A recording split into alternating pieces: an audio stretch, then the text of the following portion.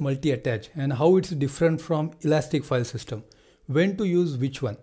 You will see this and much more in this video. Stay tuned and make sure you watch till the end.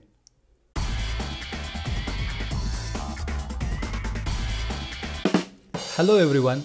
In one of the earlier videos, we have seen EBS multi-attach in practice and attached a single volume to multiple EC2 instances simultaneously.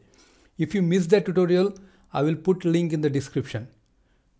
Today, we will dive deep into characteristics of EBS multi-attach volume and verify it ourselves how this EBS feature is different from elastic file system that is EFS which also allows shared storage.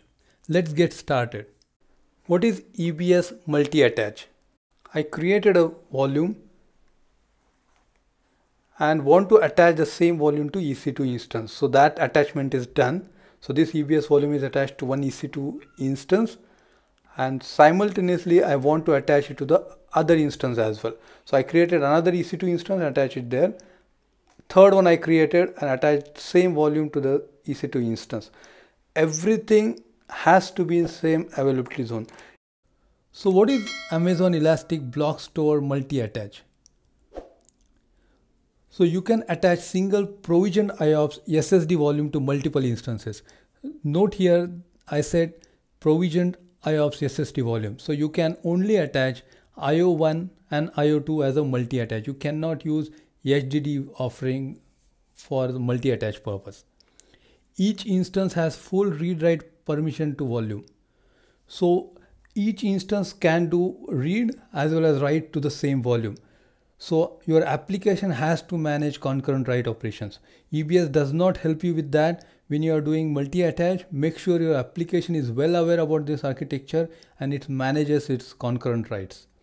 And you can attach only 16 Linux instances built on Nitro systems in same AZ. So Nitro system is specially built which is faster and you can refer AWS documents to see what are Nitro systems and what instance types are available for us. But there is a specific requirement to have Nitro system based uh, EC2 instances and you can attach only 16. Standard file systems such as XFS and ext4 are not suitable. So you should have clustered file system and your application has to manage concurrent write operations. Multi-attach enable volumes can't be created as boot volumes. Aggregate performance of all the attached instances can't exceed the volume's maximum provision performance. This is a, again a key consideration when you are deciding on multi-attach. For example, you have two EC2 instances accessing same EBS volume and maximum IOPS out of that EBS volume is say 50,000 IOPS, right? And your one EC2 instance can allow you up to say uh, 40,000 IOPS and other EC2 instance depending on its instance type it can allow you to go to up to 40,000 IOPS. So total you can go to 80,000 right 40 and 40 from first EC2 and 40 from second EC2 but your EBS volume allows only 50k IOPS or 50,000 IOPS so you cannot scale your application beyond this 50,000 IOPS. Even though your EC2 instance can go beyond uh, 50,000, but you, your EBS volume does not allow it. So aggregate performance of all the attached instances can't exceed the volume's maximum provision performance. So you should remember this when you are deciding whether you want to go ahead with EBS multi-attach. So when usually we'll use EBS multi-attach. So this is when you can have clustered file system to increase application high availability. If you are aware about Oracle cluster file system, I think that should be a good use case for EBS multi-attach. So can run your databases uh, or you can even run your applications from EBS multi-attach and increase the availability for your application in the same AZ. Let's look at what is EFS and how it is different from EBS multi-attach. But what is EFS is? It is scalable, fully managed elastic file system for Linux based applications and workloads which can be used with AWS cloud services and on premises services. So here is the key like you can have EFS being accessed from your AWS cloud services as well as on-prem services. So this is a key difference between EBS multi-attach and EFS and this is strictly Linux based. In case of EBS, you can have application running on Windows. AWS does not recommend you to use EBS multi-attach for Windows based applications.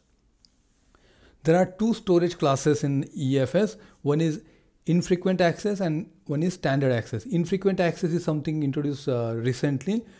EFS does not require storage provisioning and it is pay pay as you use. EBS you will just specify that I need 1 terabyte, 2 terabyte, whatever size you want. But in case of EFS, it's not needed. Storage provisioning is not needed. File access is possible across multiple availability zones and regions. This is again very important differentiation that you can have your instances running in multiple availability zone or even different regions. So it provides low latency with IOPS and throughput that scale with usage and the number of attached instances. So whatever uh, we talked about EBS, like you are bottlenecked when you reached your maximum performance of that particular EBS. But in case of uh, EFS, it can provide you low latency with IOPS and throughput that scale with usage and the number of attached instances. This again a key differentiation factor when you are looking into deciding whether you want to go to EBS, multi-attach or EFS as a solution. So when EFS is good fit, so when you really need shared storage for your uh, say media files or asynchronous logs, this is a good fit it is not good for running your databases or running your actual application code from the EFS. You can use this as a shared storage, but not good for running your applications as such.